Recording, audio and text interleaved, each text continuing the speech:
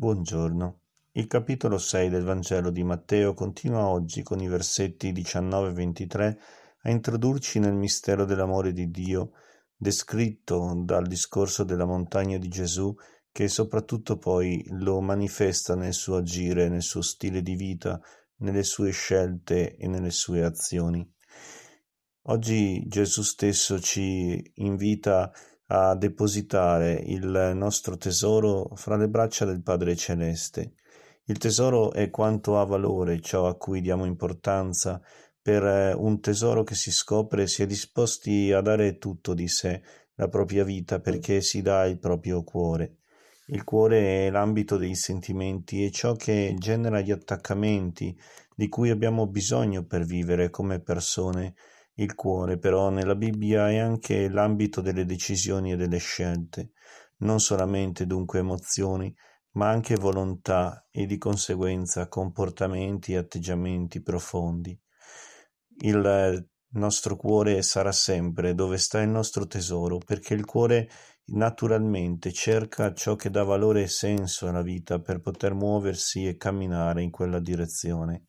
Ecco Perciò è importante riconoscere che tante volte noi attacchiamo il cuore a cose che ci danno affanno e preoccupazione, ma che non sono capaci di riempire il desiderio intimo di eternità e di infinito che ci abita.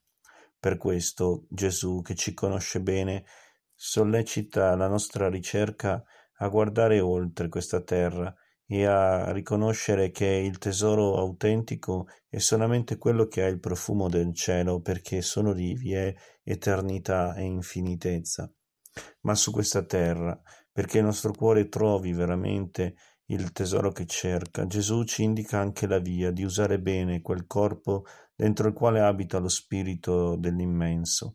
Il nostro corpo e in particolare i nostri occhi, che siano puri, nitidi, limpidi, capaci cioè di guardare, di leggere, di immaginare, di osservare solo quanto ci parla della bellezza di Dio, della vita, dell'umanità, della creazione, insomma, occhi che siano purificati dalle immagini, dalle fantasie e anche dalle parole che fanno male, che feriscono, che generano violenza e aggressività, occhi invece usati bene per guardare e per interiorizzare ciò che del tesoro parla, amore e verità che sanno in questa vita già da adesso farci pregustare la bellezza della vita in Dio. Buon cammino con lo sguardo rivolto al tesoro che sta nel cielo.